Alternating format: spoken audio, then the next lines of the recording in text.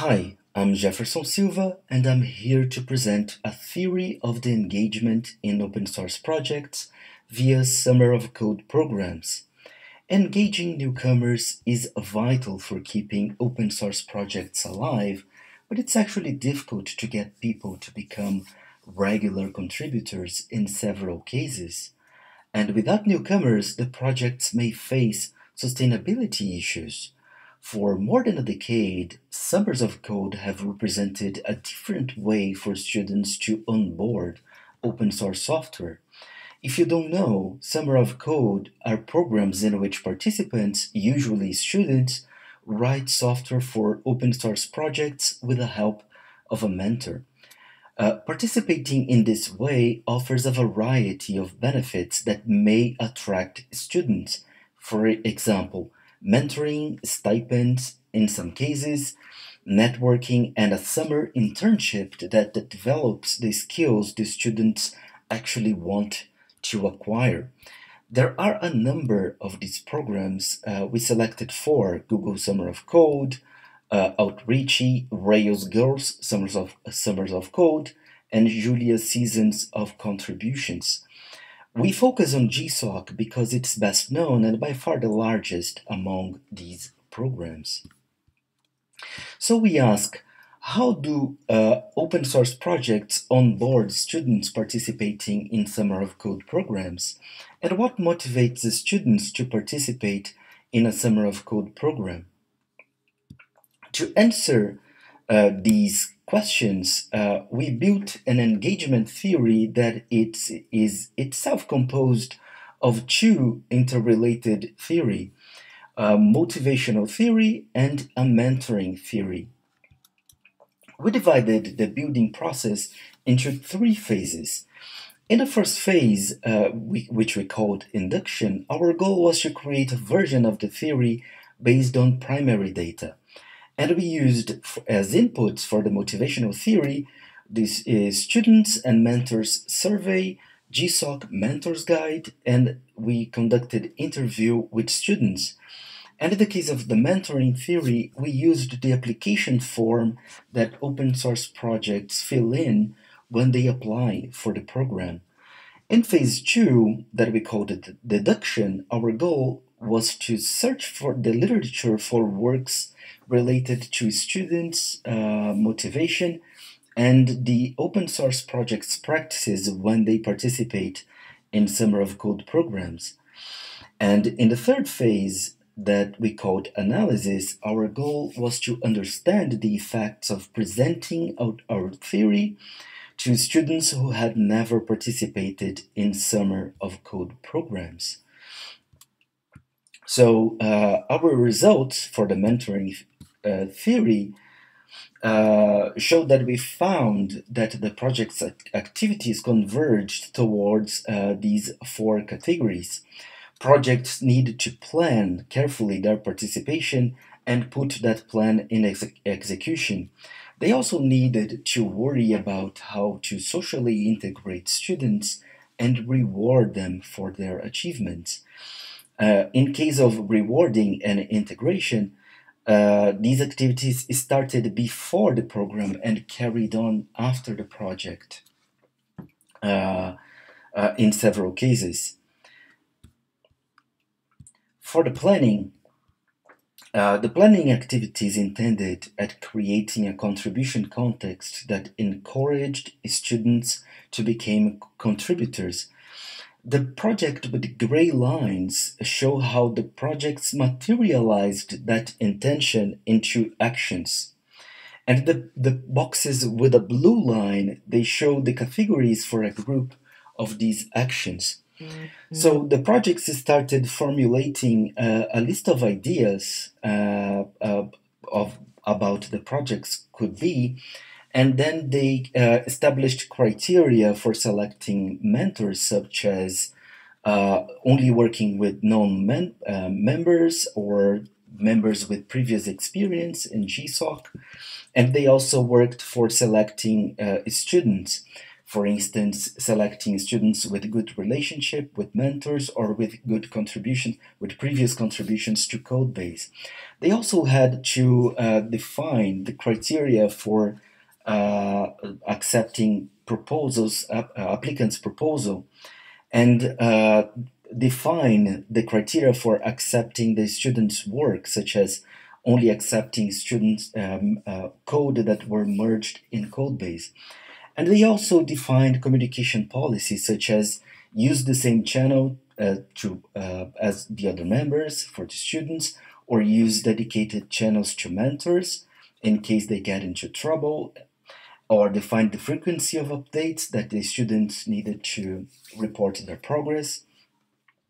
They also uh, needed to decide on which monitoring tools to employ and to establish a process of review uh, of the students' work.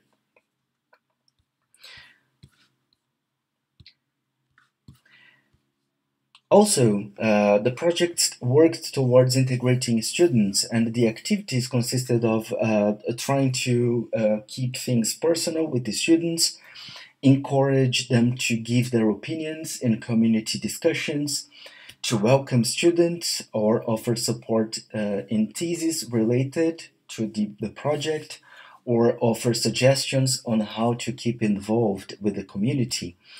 And they also worked to reward the students, and we are aware that everything can be seen ultimately as an action towards integrating students, but we would like to highlight the actions intended at recognizing students' merit.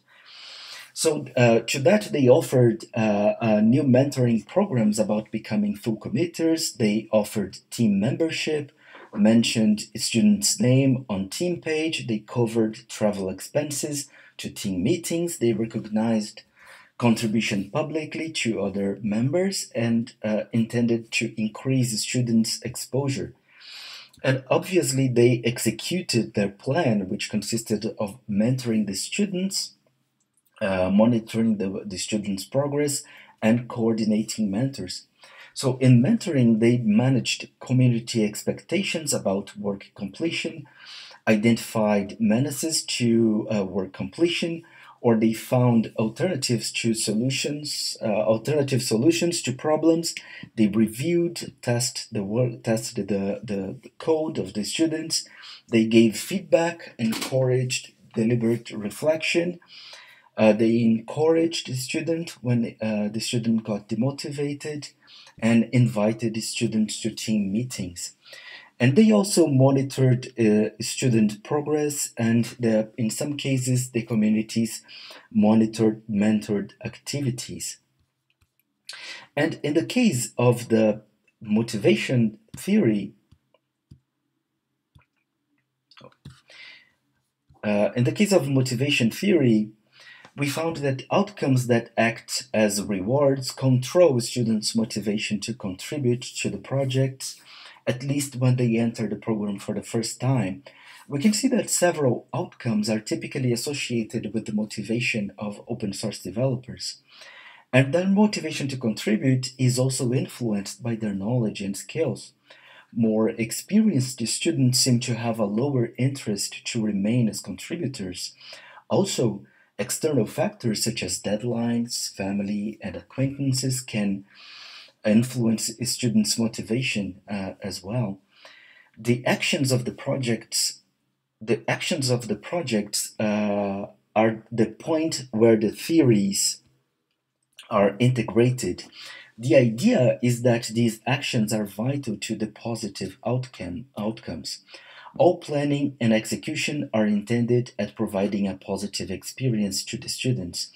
Other factors are important for students to remain as contributors, which depends on how students will interpret these. In the last phase, we wanted to collect students' perceptions to understand the effects that our theory would have on these students. So, for collecting these data, we asked our students from China and Brazil to firstly answer a questionnaire then watch a video about our theory and answer a, a second questionnaire.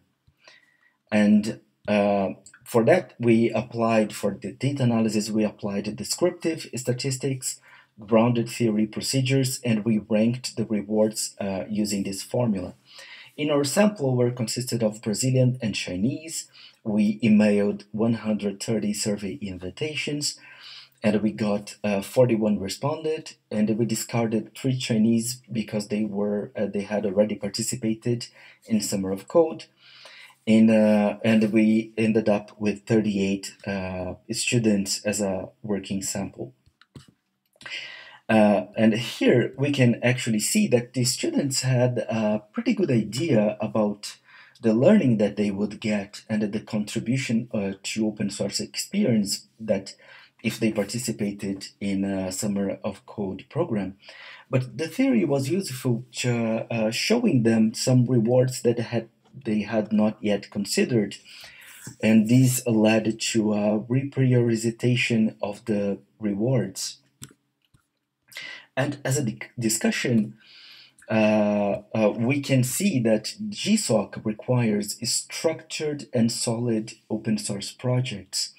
So we wonder that it may be hard for uh, small open source projects to participate in the program. In these cases, uh, mentors may have to choose between addressing uh, urgent project needs or mentoring the students. So uh, open source projects should consider that before participating. For most open source projects, we notice that there are no strategies focusing underrepresented populations. And also, participation and re entering the programs are highly driven by the outcomes. Students that enter the program for knowledge may not remain because they may consider the knowledge and experience acquired as enough and then stop contributing. Several open source projects mentioned to work towards infusing the project's culture and philosophy and the students uh, for motivating them. So, uh, as a conclusion, uh, we understand that this work represents our first step in creating a theory that can explain when and why students remain as contributors, uh, which we call a variance theory. And this is our future work. With this said, we conclude this presentation and I hope to see you at the conference. Thanks for watching.